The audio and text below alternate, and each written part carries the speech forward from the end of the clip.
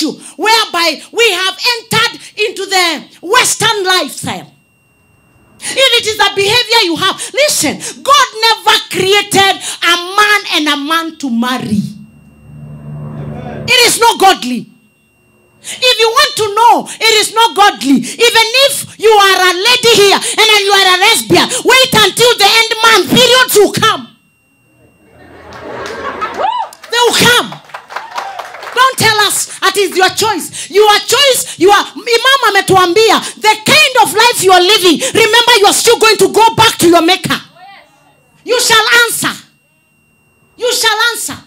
If it is a behavior you took, maybe I don't want to judge you because we are living in a place whereby maybe you watch movie, maybe you are introduced, maybe because your parents were very busy. Yes, I know, but the Bible says that in the days of ignorance, the Lord overlooked, but now He's calling everybody to repentance. You better repent.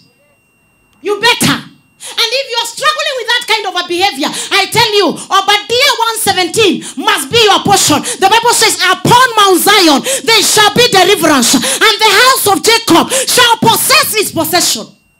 You need to get delivered. Listen to me. The last point there, I'm going to give you how to stand out. You need to press further. Kama ni behavior unaona uko nayo, kama huwezi funga you scatter it left, right, and center. You need to tell God, Oh God, may you touch my Jerusalem. I need to become better. Lay your hands on your Jerusalem. You will never see the glory of God with sexual perversion. It is not my sermon for today, but I, am I going to be invited again? Why am I seeing like I'm not going to be invited again? Eh? I need to come and talk to the girls of daughters of Zion. You are beautiful. You are beautiful.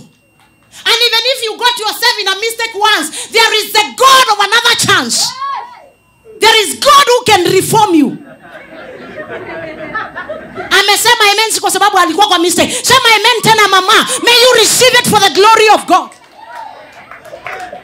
tuache kudanganywa wacha makanisa tuseme ukweli to play keyboard and you are gay you not play. Take your talent to your mother. You not play. Not in my church. You are going to say i am harsh but i am principled. The bible says such act will never enter heaven. Usinifurute kwenda jehanamu na wewe. Wewe enda ukiendanga you have but i'm telling you we may desire to come back to god